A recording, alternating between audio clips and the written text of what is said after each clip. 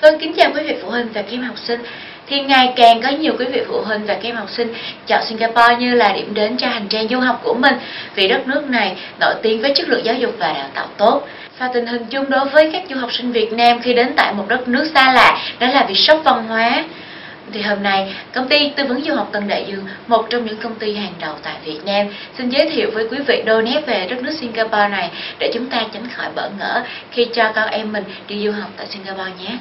Cộng hòa Singapore là một thành bang và đảo quốc tại Đông Nam Á. Đảo quốc này nằm ngoài khơi mũi phía nam và bán đảo Mã Lai, cách xích đạo 137 km, tức là 85 dặm về phía bắc. Singapore là quốc gia đô thị hóa cao độ. Hiện giờ à, chỉ còn lại một ít thảm thực vật ban đầu, lãnh thổ của Singapore liên tục mở rộng thông qua hoạt động cải tạo đất. Được mệnh danh là một trong bốn con hổ châu Á, Singapore là một trong các trung tâm thương mại lớn của thế giới, với vị thế trung tâm tài chính lớn thứ tư và một trong năm cảng bận rộn nhất. Nền kinh tế mang tính toàn cầu và đa dạng của Singapore phụ thuộc nhiều vào mậu dịch và đặc biệt là chế tạo. Hiện tại, Singapore có thu nhập bình quân đầu người cao thứ ba trên thế giới. Quốc gia này xếp hạng cao trong các bảng xếp hạng quốc tế liên quan đến giáo dục, chăm sóc sức khỏe, sự minh bạch của chính phủ và tính cạnh tranh kinh tế. Sự phát triển nhanh chóng của Singapore tạo cho quốc gia này có ảnh hưởng đáng kể trong các vấn đề về toàn cầu, khiến một số nhà phân tích nhận định Singapore là một cường quốc bậc trung. Không những thế, Singapore cũng được coi là nước đi đầu trong việc chuyển đổi sang nền kinh tế tri thức. Singapore của chúng ta có khí hậu xích đạo ẩm với các mùa không phân biệt rõ rệt.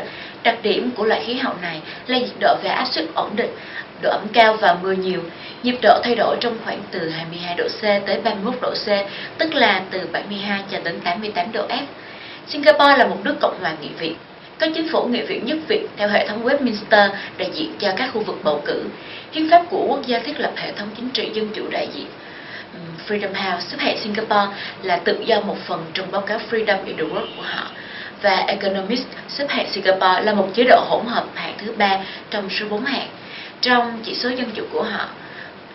Tổ chức Minh bạch Quốc tế liên tục xếp Singapore vào hạng các quốc gia ít tham nhũng nhất trên thế giới. Trong một nghiên cứu vào năm 2008, Singapore và Hồng Kông xếp hàng đầu về chất lượng hệ thống tư pháp tại châu Á. Singapore có thành phần dân tộc đa dạng, song các dân tộc châu Á chiếm ưu thế với 75% dân số là người Hoa, các cộng đồng thiểu số đáng kể là người Mã Lai, người Ấn Độ và người Âu Á. Quốc gia này có bốn ngôn ngữ chính thức là tiếng Anh, tiếng Mã Lai, tiếng Hoa và tiếng Tamil tức là tiếng Ấn Độ. Và chính phủ thúc đẩy chủ nghĩa văn hóa đa nguyên thông qua một loạt các chính sách chính thức. Tiếng Anh là ngôn ngữ phổ biến tại quốc đảo này và là ngôn ngữ của kinh doanh, chính phủ và là phương tiện giảng dạy trong trường học.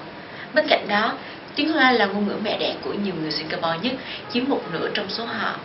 Quan thoại Singapore là phương ngôn tiếng Hoa phổ biến nhất tại quốc đảo này với 1,2 triệu người sử dụng nó làm ngôn ngữ nói tại nhà, gần nửa triệu người nói các phương ngôn tiếng Hoa khác. Để biết thêm thông tin chi tiết du học không chỉ tại nước Singapore mà nhiều nước khác, xin quý vị hãy đón xem bản tin du học của chúng tôi trên website hoặc www.tândạidương.edu.vn hoặc www.tddvn.com hoặc nhanh nhất, quý vị có thể liên lạc với chúng tôi theo đường dây nóng 08 38 48 48 79. Xin chào.